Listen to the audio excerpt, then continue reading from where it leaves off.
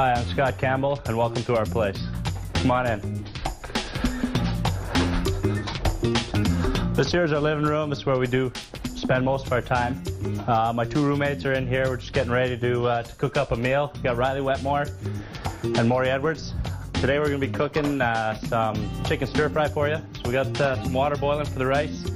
Um, we got our veggies ready. We've got some peppers, some carrots. We'll add, we'll add some broccoli.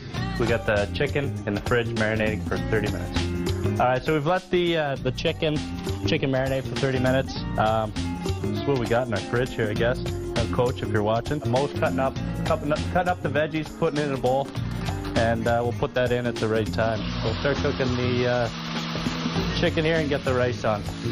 Just cutting up some of the veggies here to throw in the stir fry. Should be pretty good. Marinated uh, our chicken with some olive oil. Uh, we got some orange juice in there and uh, some teriyaki sauce, so hopefully it comes out pretty good. I think the chicken here is getting pretty close. Uh, Mo, you want to throw your veggies on? I'll grab some teriyaki. Riley, you take care of your rice. Normally Mo's sitting on that, that chair there.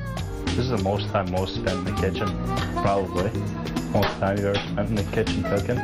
This is the most time you two haven't yelled at each other in the kitchen. Always touching things. He likes to touch the knobs. If I put it on like five, he'll put it on four.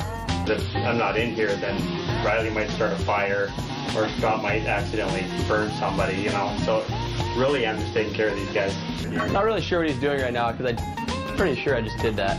But it's all right. Riley seems to have forgotten that his station is the rice station. Yeah, got a bit left. Can't afford to have a bad meal here, especially on TV. This is a cooking show. I think we're, uh, I think we're pretty done here. We got our rice done. Uh, stir fries look pretty good. Get that over here served up. All right, guys, thanks for coming. It's time for us to eat and time for you guys to go. See you later.